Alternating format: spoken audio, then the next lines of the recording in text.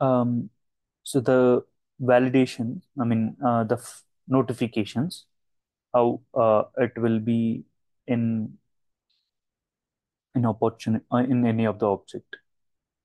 So we will take uh, the opportunity itself, go to opportunity, then go to edit layout.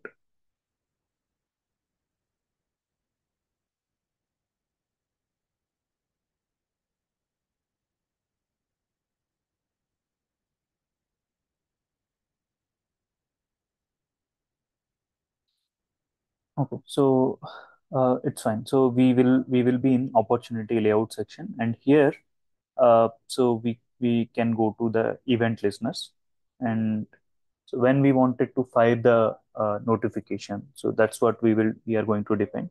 Is it based on field change or if is is it is it based on some uh, before update before uh, after update? So something like this events. So we'll select opportunity field change value and then create a action chain. Uh, once action chain is created, so now you go to the action chain diagram. So here uh, you can basically uh, add your logics, right? Um, so to fire a notification, uh, so you filter with notification. So this is the notification component that we have. And go to properties. So this fire notification will have the properties. So, um, so it will have some summary message. Uh, suppose in in detail page, we'll try to write some validation.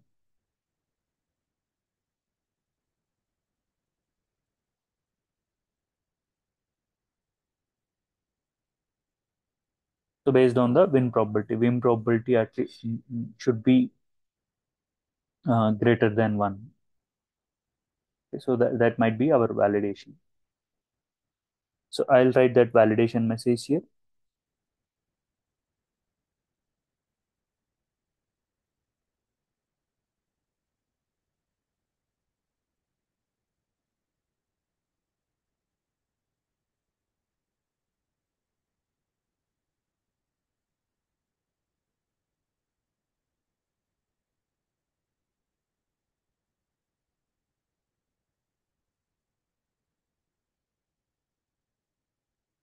And then the message is uh, something like um, so the notification will come in two parts the the uh, main one and then the below message. Uh, so I'll show you that. Something like I'll update this in a message. Okay. um, then display mode there will be two modes persistent and transient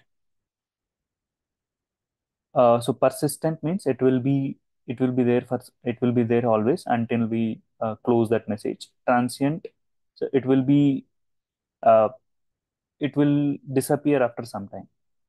Uh, in in 10 seconds or uh, 5 seconds it will disappear.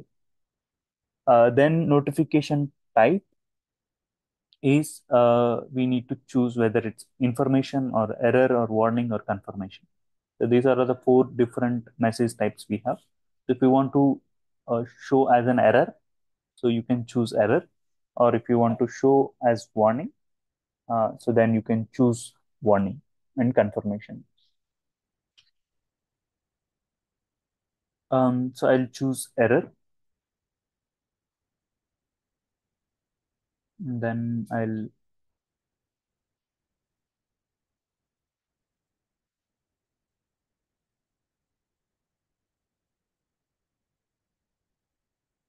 then I'll preview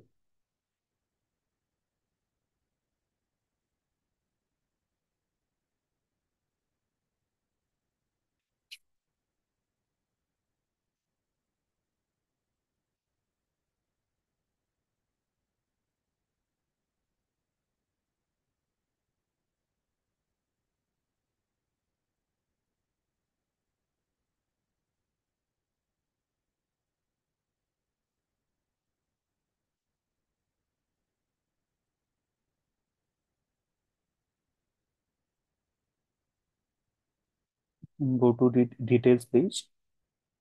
And so I'll update. Uh, okay. So now we don't have any condition basically. So uh, it triggers always.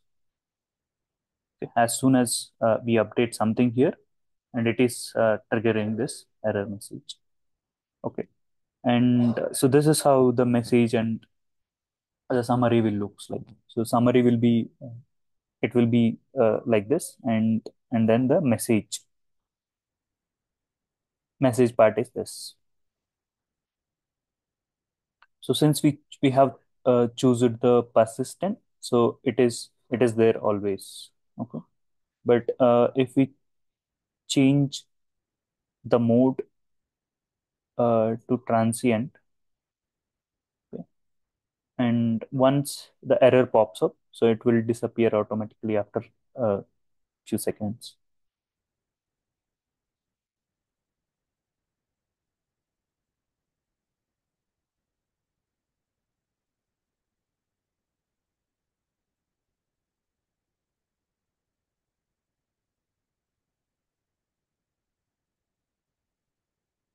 Now it disappeared automatically and uh, now uh, we need to add some condition to this right? And we have we are in uh, on field change event listener right? So this is a kind of uh, field trigger. So we can right click on this and then we can uh, surround this with if condition so that it will be conditional. Now when we want to trigger this is uh, so we can define in the condition. So go to this and add a condition and and click on here. And here you can select the conditions. So mode will give whether it's edit mode or single field update mode. Uh, then you can see a modified field. So what is the modified field? So in this case uh, the modified field will be when should we trigger is when probe so that should be the API name, I guess. So let me verify. So the win probe is the API name.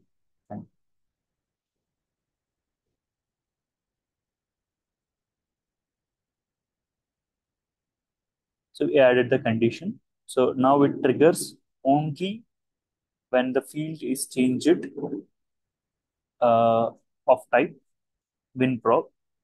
And then we need to add one more condition that is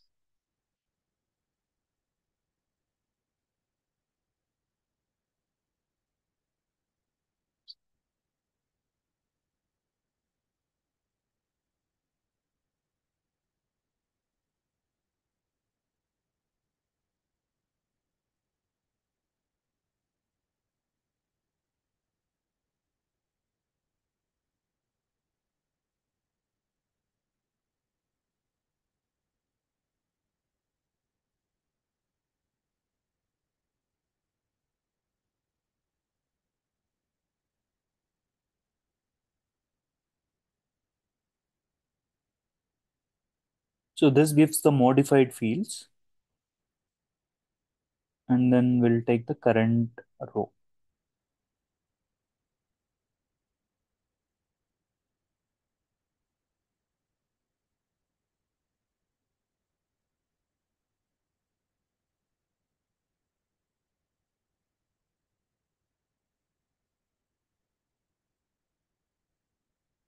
Okay.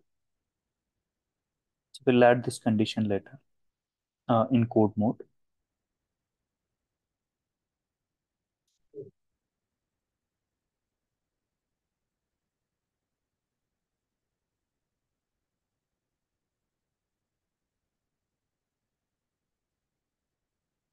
Now we'll preview this.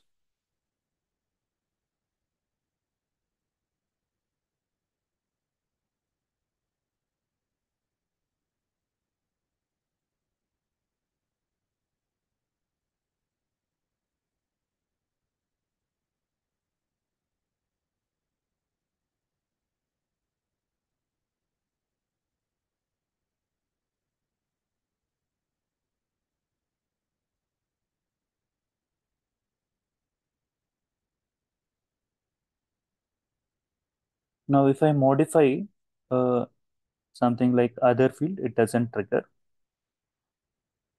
But if I try to modify the win probability, it will trigger because it's a conditional. I'll go to code mode.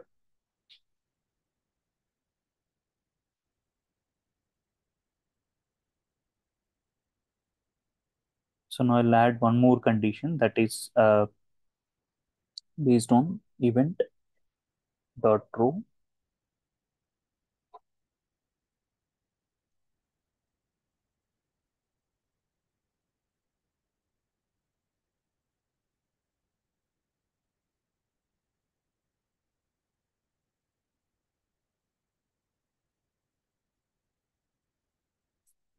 And then dot uh, the field name that is win prob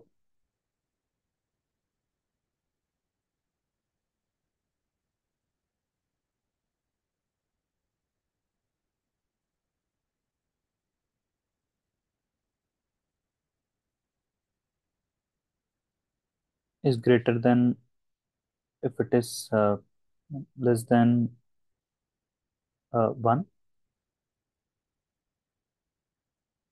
I'll put if it is less than or equal to 1 so then we'll add we'll make the condition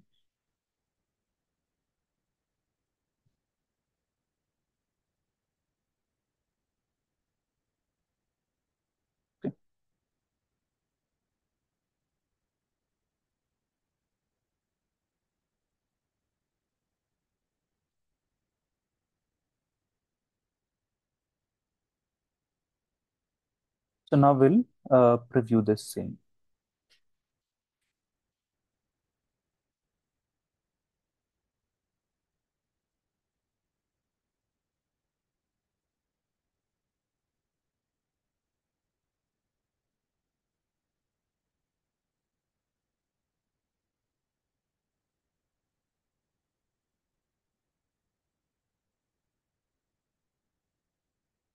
now I'll change this to 1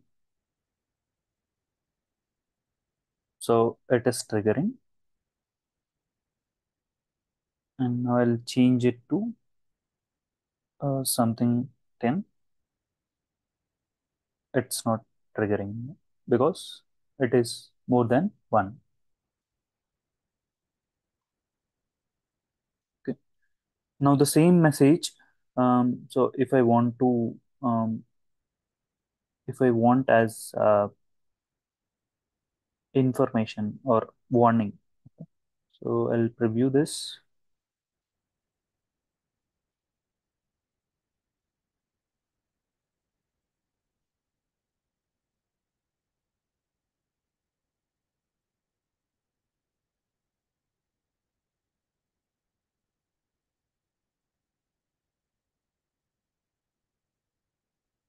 okay. So this is the warning. And then information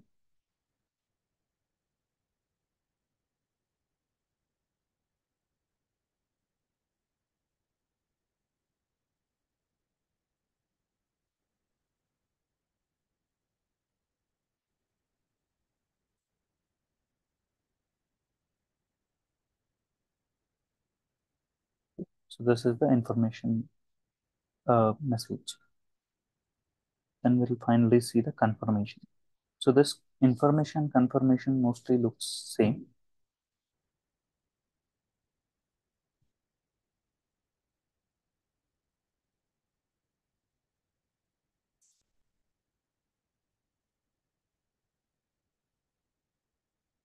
Uh, basically once uh, some action is completed you can uh, you can give this confirmation message. You can use this confirmation uh, message. And if you want to inform something then you can choose the information.